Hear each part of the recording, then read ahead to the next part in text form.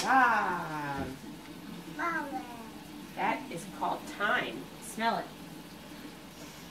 Taste it. No, no, no, don't put it in because you have to pull the leaves off. Can you pull the leaves off the stick?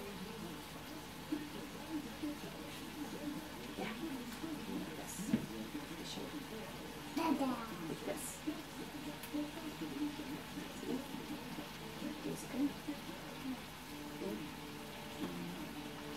Like is that good? It's time.